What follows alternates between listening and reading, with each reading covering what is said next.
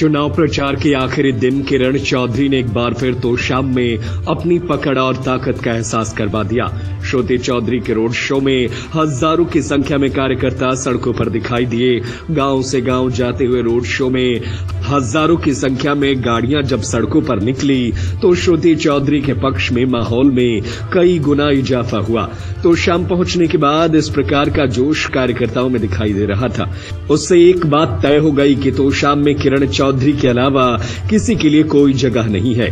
मीरान गाँव से लेकर तो शाम तक सैकड़ों जगह पर लोगों ने फूलों के साथ माँ बेटी का स्वागत किया। लोगों की भीड़ देखकर मध्य प्रदेश के मुख्यमंत्री डॉक्टर मोहन यादव भी काफ़ी खुश नज़र आए। लोगों से इतने मिले प्यार के बाद किरण चौधरी इतनी उत्साहित थी कि उन्होंने लोगों को इस बार पचास हज़ार से भी ज़्यादा मतों के साथ जीत दिलाने का आह्वान कर दिया है। आखिरी में एक बात कहूँगी। श्रुति का आज फोर्टी नाइन्थ जन्म दिवस है। मैं भी इसी उम्र में आई थी। इसी उम्र में मैं भी आई थी तुम्हारे बीच में। मुझे याद है सुरेंद्र सिंह जी के चले जाने के बाद मैं भी इसी उम्र में आई थी। देखो प्रभु की क्या कृपा। कि अब जो है वो राज साहब की बेटी का बन गया।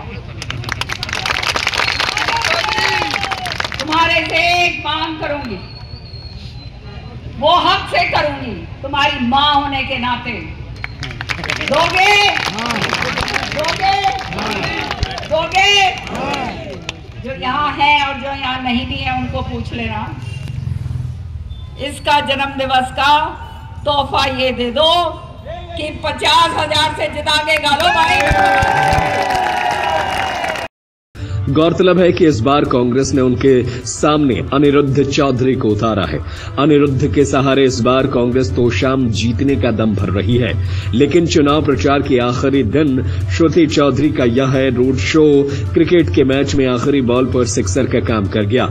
इस रोड शो के बाद आम चर्चा यह रही कि कोई कुछ भी करे तो शाम में किरण चौधरी का कोई तोड़ नहीं है। इस मुद्दे पर आपकी क्या राय है? कमेंट करके ज़रूर बताएँ। सत्य खबर सत्य सटीक बेबाक।